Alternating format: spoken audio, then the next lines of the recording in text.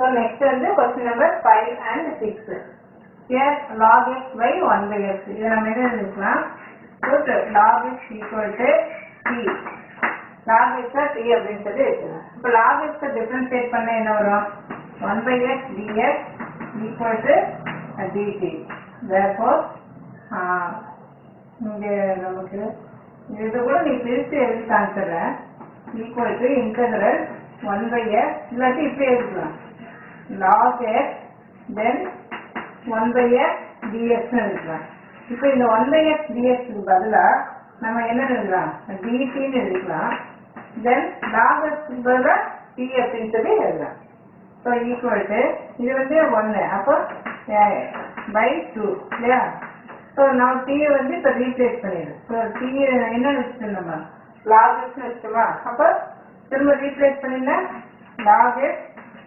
log x squared by two so இந்த option is by 2 means என்ன 1 by 2 so option A is the correct one இங்க by 2 ல என்ன 1 by 2 so 1 by 2 log square square plus c now come to the next question இதுவும் அதே மாதிரி தான் put 1 plus e power x equal to t வச்சலமா அப்ப இது என்ன ஆயிடும் 0 ஆயிடும் e power x க்கு e power x தான் equal ஜி dt அப்போ ம், இந்த கொஸ்டின் இங்க என்ன இருக்கு? சிஆர் அப்ப இந்த e இ பவர் இதுக்கு பதிலா என்ன போட்டுக்கலாம்? இன்டகிரல் டிடின்னு போட்டுக்க இதுக்கு பதிலாக டிடின்னு போட்டாச்சு. அப்புறம் கீழே என்ன இருக்குது?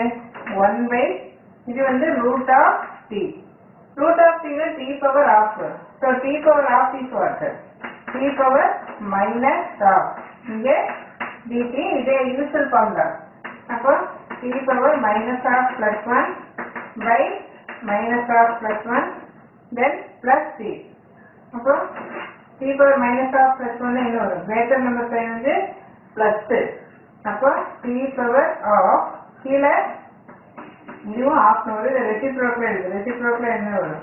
Two into root of t then plus c so equal to two into root of t வந்து ரீப்ளேஸ் பண்ணணும் இல்லையா?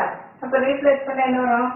டி பில்லிங்ல என்ன வச்சுக்கிறோம் one plus e e power x அப்போ இங்கே என்ன போட்டுக்கலாம்? One plus e power x then plus c இப்போ இங்கே என்ன ஆன்சர் வருது?